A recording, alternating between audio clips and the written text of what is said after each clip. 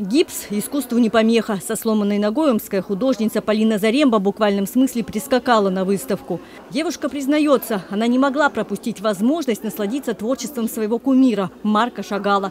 Кстати, с мастером лично была знакома бабушка Амички. Она, как и художник, в начале 20 века жила в Витебске. Витебск тогда считался, э, в кавычках, вторым Парижем, потому что такие метры там преподавали абстрактную живопись, супремистическую живопись, живопись любви, как говорят о Шагале, о его стиле. Все работы на выставке, а их около ста, из частной коллекции Марка Башмакова. В 60-х годах прошлого столетия профессор преподавал в Сорбонне. Там увлекся русским зарубежьем и начал приобретать на аукционах полотна художников. Но только 20 лет назад, когда открыли железный занавес, доктор физико-математических наук привез работы в Россию. Сегодня появляется уникальная возможность нашим жителям познакомиться с работами выдающихся художников мирового искусства 20-го столетия. Очень известные имена здесь представлены. В Омске выставку представляет племянник коллекционера Павел. По его словам, проект «Гений русского зарубежья» уникален и включает в себя графику десяти художников, которые из-за революции покинули Россию.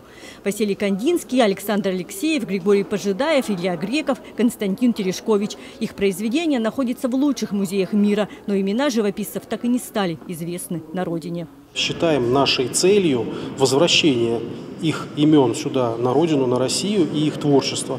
Все они, вот и эти 10, на самом деле их гораздо большее количество, они очень тосковали по родине. Они всегда, хоть и были в большинстве своем гражданами Франции, они всегда помнили, откуда они, где они родились. И, конечно, они все так или иначе, хотя бы творчеством хотели вернуться.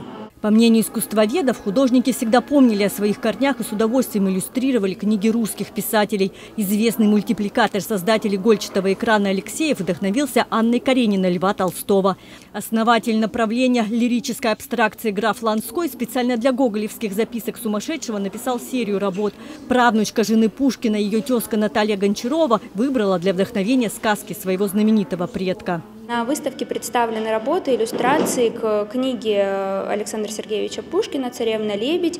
А, здесь представлены некоторые страницы, которые были, э, рисунки выполнены рукой Натальи Гончаровой, и э, книга эта увидела свет впервые в Париже. Что не имя, то открытие. Одесситка Соня Делане известна во Франции как Шишкин в России. Художница первой женщин была удостоена прижизненной выставки в Лувре, а ее холсты висят в Елисейском дворце. Делане стала любимицей Франции и э, на самом деле внесла очень большой вклад не только в живопись, но и в развитие э, моды и тканей, потому что она э, работала с ведущими модельерами э, начала 20, средней, середины, наверное, 20 века.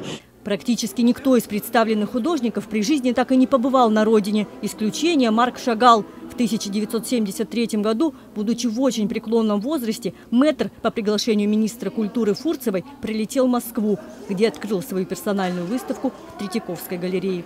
Анастасия Скворцова, Андрей Кузьмин, Антенна 7.